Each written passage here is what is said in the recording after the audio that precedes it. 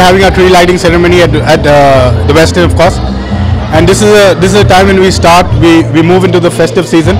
The tree light tree lighting symbolizes the time or the or the day when we move into uh, Christmas uh, Christmas period and New Year's period. A tree lighting, of course, uh, gives a significance of the of the star, the star that the three kings followed towards uh, where Christ was born. But for us, of course, it is a, it is a season where we, there is a lot of giving, there's a lot of sharing, there's a lot of fun, there's a lot of enjoyment and celebration.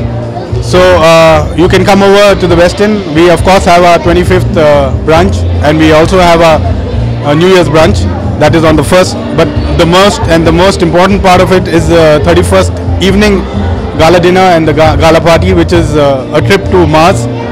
It's one of a kind, and uh, if you're in Hyderabad, do not miss it. Other than that, you can see we put up our goodies today, and uh, we have our different goodies out here ready for our guests to take.